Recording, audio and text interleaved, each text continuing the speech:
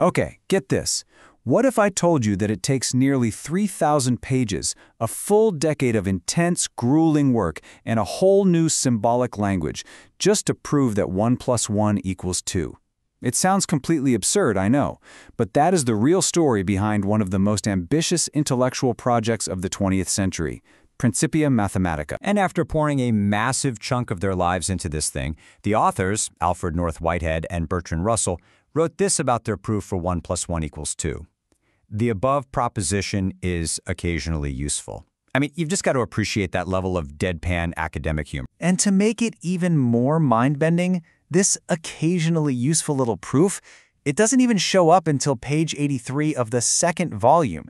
It comes after hundreds upon hundreds of pages of some of the most dense, complex, newly invented logic you could possibly imagine. So this brings us to the big question, right? Why? Why on earth would you go to all this trouble for something every child just knows? Well, the answer actually lies in a time of deep, deep crisis. See, at the turn of the 20th century, mathematics was facing what you could call an existential threat. The very foundations of certainty, the thing math is built on, were starting to crack, and mathematicians were scrambling, desperately trying to find some solid ground. This search led to a really powerful idea called logicism, and it was a huge, ambitious dream. The idea was, what if all of math, the whole shebang, could be built up brick by logical brick from just a tiny handful of simple, self-evident truths. No more fuzzy intuition, no more unproven assumptions, just pure, undeniable logic. But just as this amazing dream was really taking hold, Bertrand Russell himself, one of its biggest champions, stumbled upon a paradox. A paradox that threatened to bring the entire beautiful structure crashing right down.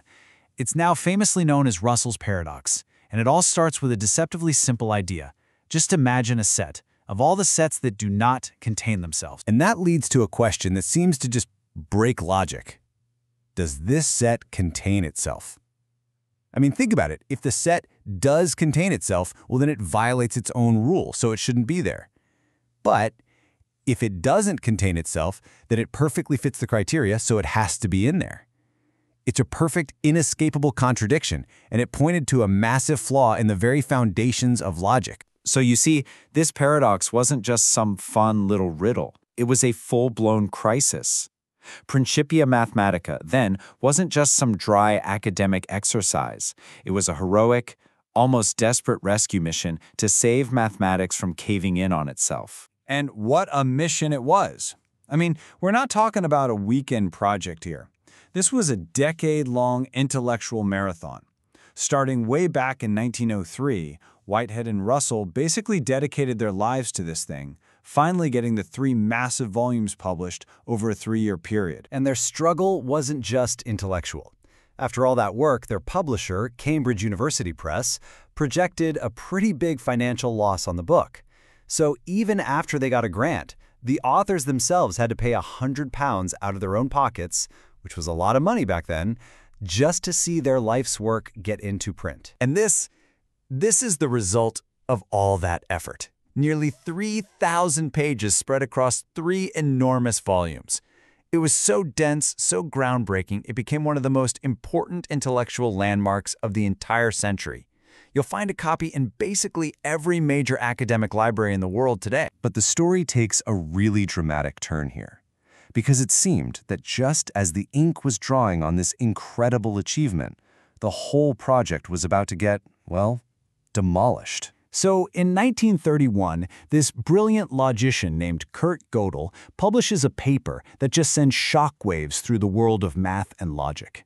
His famous incompleteness theorems proved something absolutely devastating, that in any consistent logical system, like the one in Principia, there will always be statements that are true, but that you can never, ever prove are true using just the rules of that system. Yeah, this was seen as a fatal blow, a knockout punch. The whole point of Principia was to create a complete, self-contained system where every single mathematical truth could be proven from its basic axioms. Gödel's work seemed to show that this grand quest, the very soul of the project, was impossible from the start. So, was that it? Was it all just a magnificent failure? A decade of work, thousands of pages, all for nothing? Well, not quite. As it turns out, the story has a pretty surprising twist. Okay, so here's the twist, and it's a subtle but absolutely crucial philosophical point. Gödel's proof assumes something that Principia Mathematica explicitly rejects.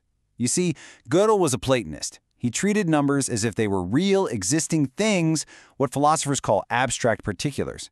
But for Whitehead and Russell, nope. Numbers weren't things at all. For them, they were just labels we use for complex logical ideas.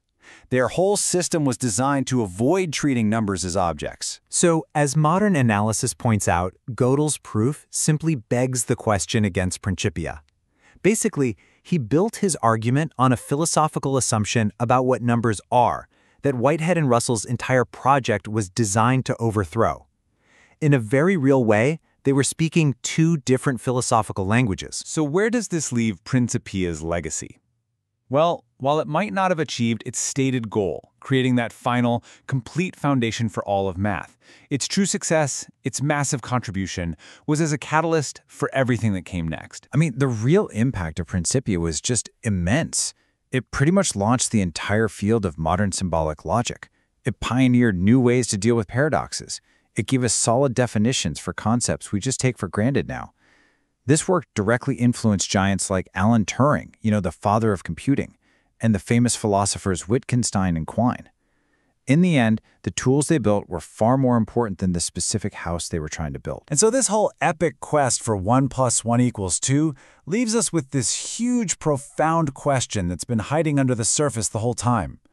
Is mathematics something we invent, a powerful logical language we create, the way Russell and Whitehead did? Or is it a universal truth that we discover, a separate reality of abstract objects, the way Gödel believed?